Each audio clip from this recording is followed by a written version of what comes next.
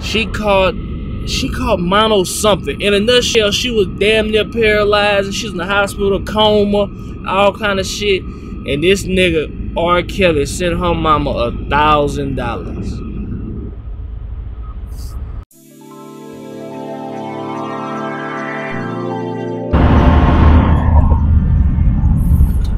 What's up, everybody? Morning, morning, morning. Getting to it.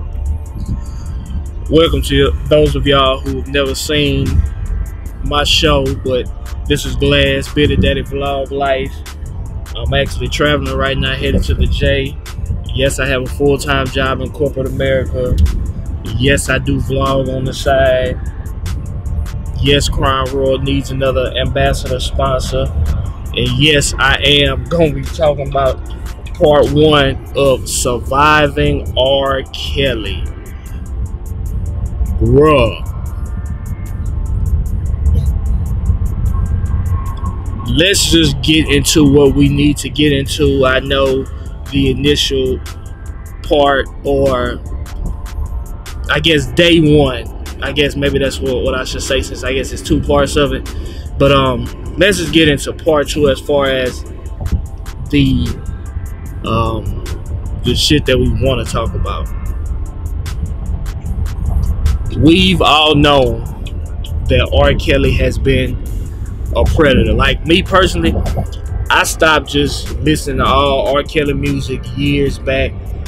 Cause man, my conscience, I, I just couldn't do it. My conscience just fucking with me just too bad to let me just kind of ride with some shit that I knew that he was doing or shit that was going on like my conscience just wasn't that, that shit just wasn't sitting right in my stomach for me. So I just couldn't—I couldn't I could no longer do it. But we all know this nigga was a predator. We knew that. Hearing the story of these girls,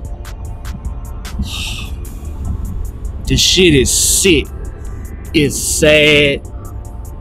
So many, okay, so many parents Let's be motherfucking clear about that. So many parents, older siblings, and everything failed these young girls.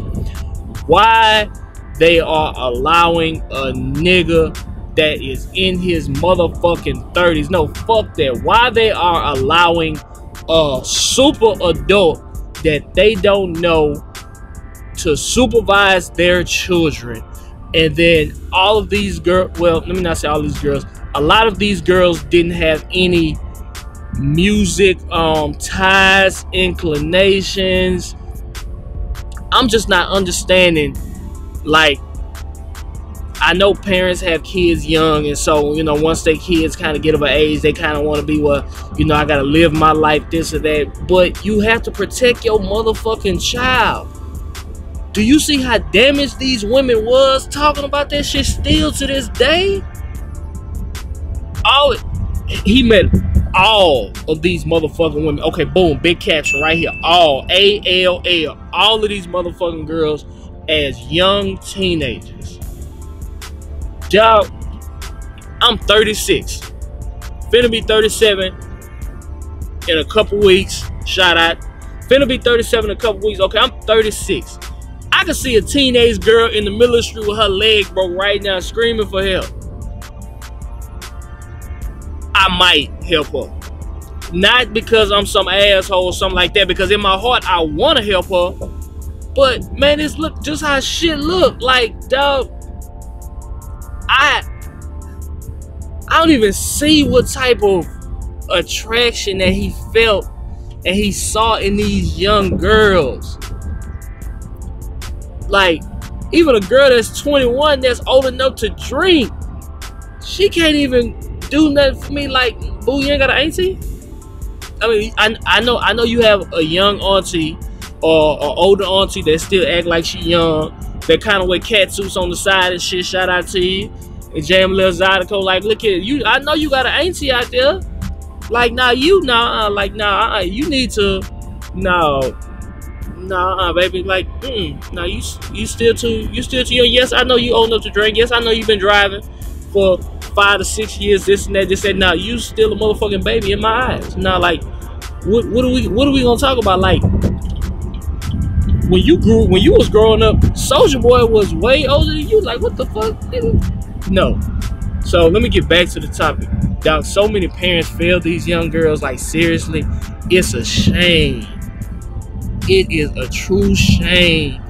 All of these girls, the one chick that she called she called mono something. In a nutshell, she was damn near paralyzed and she's in the hospital, coma, all kind of shit. And this nigga, R. Kelly, sent her mama a thousand dollars.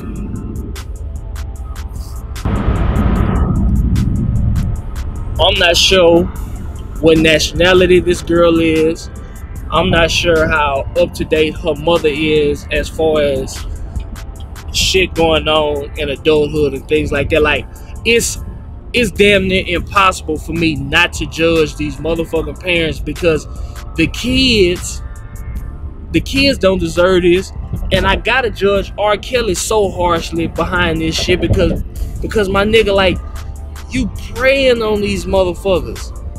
You like for real, for real preying on these kids. You gaining their trust. You using, you using all your powers and all your magic. I'm let me not say magic. I don't make it like some voodoo shit, but my nigga using all your powers for evil. Everything you got that you're doing, you using all of that shit for evil. Like all of that shit just for your own sexual benefits and shit like that. Like and then when the nigga R. Kelly said on the Facebook Live video that they showed at the beginning of the, the series, they were talking about that. The niggas like, yeah, it's too late now. They should have did this shit 30 years ago. Clear admission of guilt. Right there. Right there. Admission of guilt. No two ways about it. Oh, y'all want to know a second admission of guilt?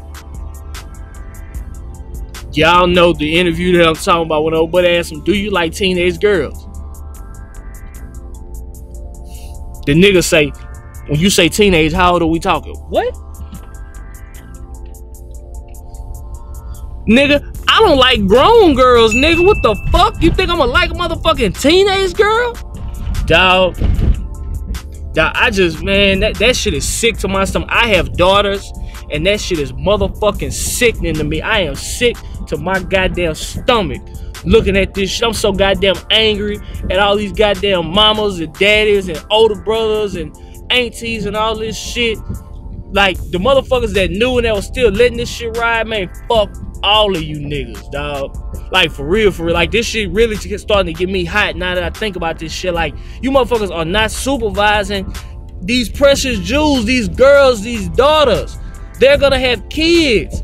Now these damaged girls have the possibility of bringing all of that damagedness and well, I know that's maybe not a word, but all all of that shit, like they have that shit of bringing that shit into their children, dog.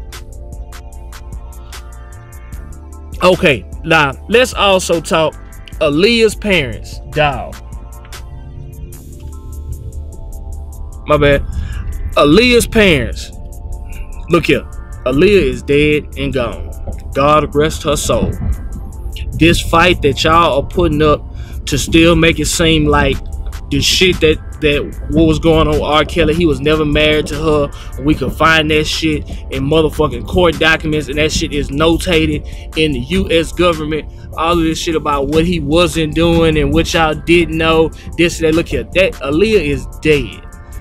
Y'all fucked up as parents. Let's let's just be totally honest. Y'all fucked up as parents. We know y'all fucked up as parents. Just say we fucked up as parents. All of this shit that y'all are trying to do and y'all trying to mask and make it seem like y'all didn't know and y'all was doing the right thing. No, y'all did the wrong motherfucking thing. What y'all did was y'all allowed R. Kelly's fame and shit like that to impair y'all judgment based upon what y'all thought was best for y'all child. That's what it is. Aaliyah wanted to sing. She wanted to dance. She had talent. And y'all let some shit that y'all knew wasn't right go on to help push her along the path and get her to the point that she wants. Rather than being stand up and just say, fuck that, look here, I got I have certain morals and shit that I stand on and it's not gonna happen. Y'all didn't do it. Y'all allowed this motherfucking predator sorry, y'all allowed this motherfucking predator to do what he did. I mean, luckily the shit didn't get as bad as it got with all the other girls, and you know they got a divorce after a little while. But y'all let this shit happen, and the shit I ain't gonna say it started there, but it did kind of start there. Nah, it didn't start there because when it started there, it started way back when the 14 year old girl was in the goddamn um studio and R. Kelly was was hitting one of the girls from from the back inside the studio, and you know he was letting him hear "Honey Love" and all kind of shit. Like my nigga, like you playing some girls that's still in motherfucking training bras, "Honey Love." Nigga, that's some marshmallow. That, that's not even love, dog. Like this shit is really just still getting me motherfucking angry. His wife, uh, I think it's Drea. I don't think it's Andrea. I don't know if it's Andrea, Drea, Kelly, the whole deal. I'm just I'm still gonna pray for you because it's you know like even though you have changed and you have overcame some shit, I can still definitely tell that you're definitely damaged behind the whole shit. And I'm not even mad at you for being damaged behind the whole deal. I'm just still gonna pray for you. When Sparkle came down, and Sparkle, we're gonna talk about that too. When Sparkle came, down, when Sparkle was in the in the, the room or in the living room, they're watching the game, and nigga said she heard knocking, and she peeked her head. I say, "Is it okay if I get something to eat?" Look here, dog. That is gorilla pimping, dog. And Sparkle's like, "Nah, it won't be me. It won't be me." Like he, R. Kelly had his shit beyond control, but he had his shit beyond control because he didn't want none of the people talking to each other. Like he didn't want the different crews talking to each other so that everybody basically he used math. He divided and he conquered for the most part, which he could. Because he didn't want the motherfuckers to start mixing and start talking. Because if they start mixing and start talking, two plus two equals four. So he didn't want that math to add up. He wanted that shit to separate so he could do this, he could do that, and then at the same time, so he can also instill that fear in everybody to so that they wouldn't talk to people just so he could keep doing what he's doing. He could keep his shit under wraps. Dog, this shit is so motherfucking sad. Man, I'm just thinking about it and Sparkle. What you what what you were doing musically, how you were doing your thing. I'm I really have no opinion on that. What I do have an opinion on is you weren't blind to the shit as far as your young niece. But to a certain point, you still kind of let the shit go on.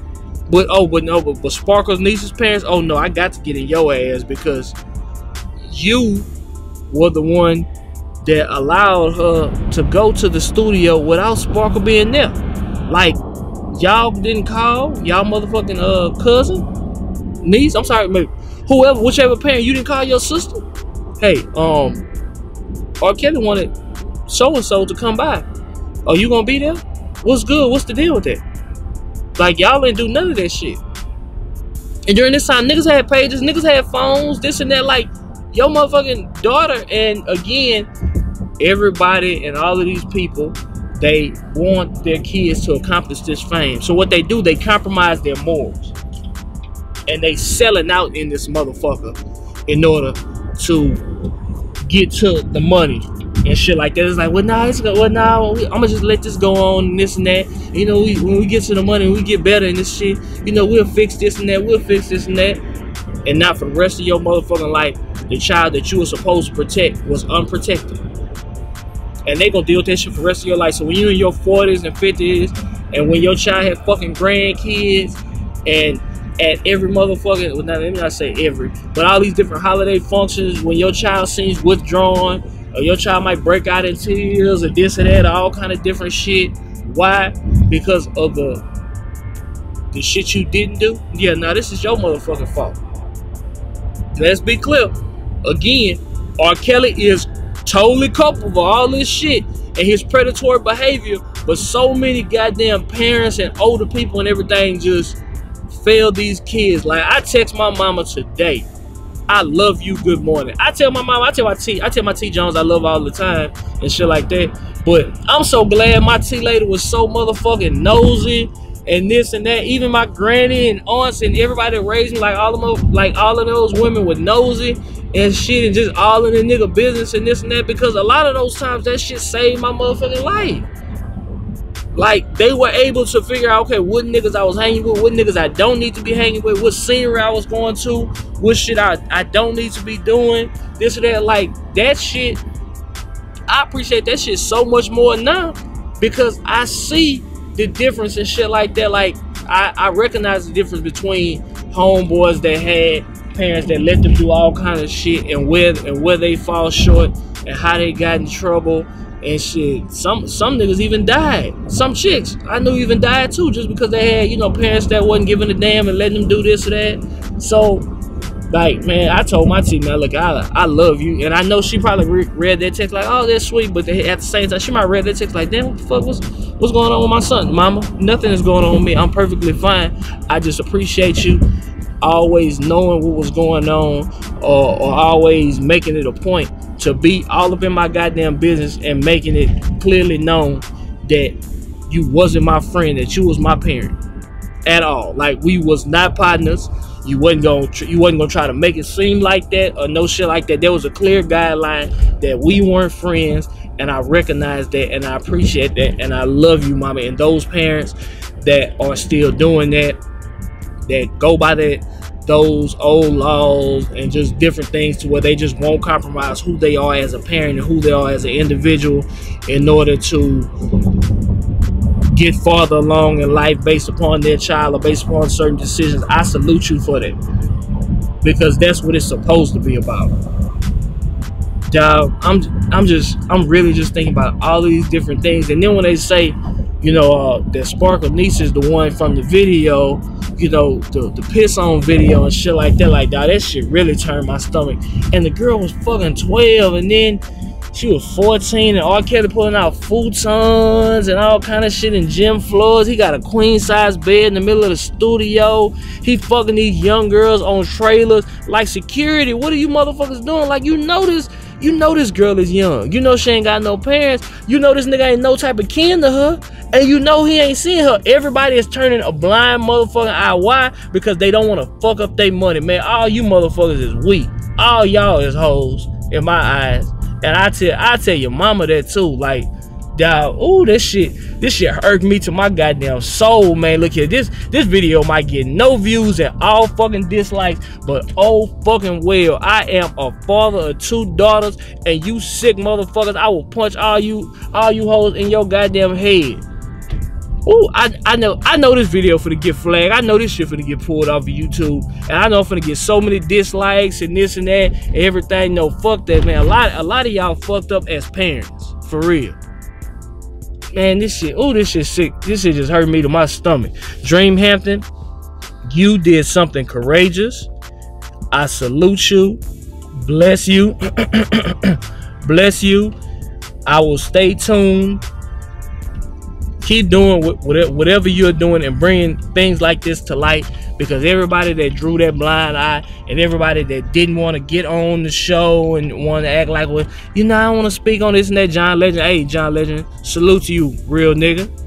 And I and I see you got you a solid haircut and the edge up his back right and shit like that. I see you out here John doing your goddamn thing. Dog surviving R. Kelly, man. this shit is too crazy. Bearded Daddy Vlog Life, man. Y'all get at me.